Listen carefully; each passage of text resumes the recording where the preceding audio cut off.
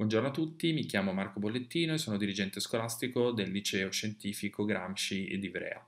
Eh, in questo video cercherò di raccontarvi in pillole quello che abbiamo così attivato come didattica a distanza in questi giorni nella mia scuola.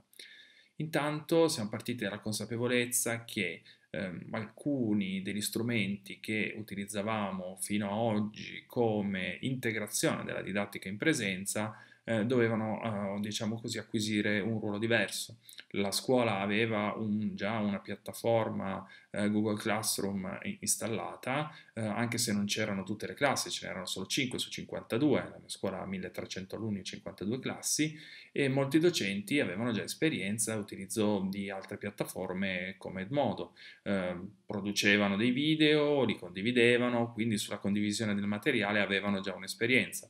Non avevamo però un'esperienza di didattica eh, a distanza consolidata, per cui il lavoro principale è stato quello di mettere insieme le esperienze dei singoli docenti per cercare di dare un quadro d'insieme eh, cui potessero fare riferimento tutti gli altri docenti.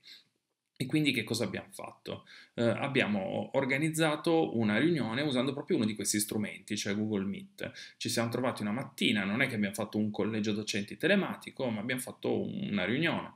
Eh, una riunione a cui si partecipava volontariamente, ma a cui ha dato una risposta eh, praticamente la quasi totalità del corpo docente. In questa riunione abbiamo affrontato alcuni degli aspetti critici della legislazione, abbiamo letto, abbiamo spiegato DPC, i vari DPCM, eh, dopodiché siamo andati anche a vedere quelle che erano le pratiche che i docenti avevano già iniziato a utilizzare e quindi partendo da lì abbiamo costruito oh, una sorta di, delle sorte di linee guida eh, che poi sono state condivise con, eh, con, una circolare a tutto il corpo docente ma anche eh, ai, alle famiglie eh, e agli alunni. E quindi che cosa abbiamo fatto? Abbiamo intanto oh, trasferito su Google Classroom tutti tutti, ehm, tutti, gli studenti. Ne mancavano ancora un migliaio, abbiamo creato gli account in modo che ognuno avesse un'email istituzionale da utilizzare eh, per le comunicazioni, per la condivisione del materiale, la partecipazione eh, alle esercitazioni.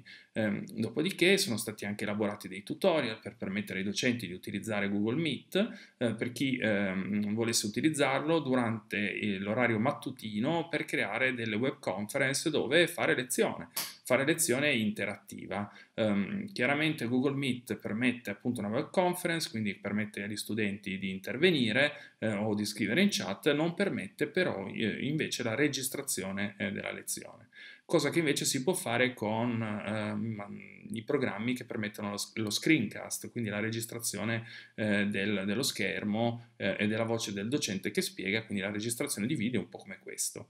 Um, quindi questa è stata una seconda opportunità la terza è data invece da tutti quegli strumenti che mm, sono disponibili su Google Classroom per la condivisione di materiale, quindi anche materiale già prodotto eh, dall'esterno, oppure su Edmodo. Questo perché eh, molti docenti utilizzavano già Edmodo e quindi l'idea è stata comunque di dare la maggior libertà possibile al corpo docente di utilizzare gli strumenti che conosceva in modo eh, da non dover formarsi in fretta e furia, ma autoformarsi in fretta e furia per usare degli strumenti su cui eh, non era a suo agio, mentre su altri invece aveva un'esperienza consolidata.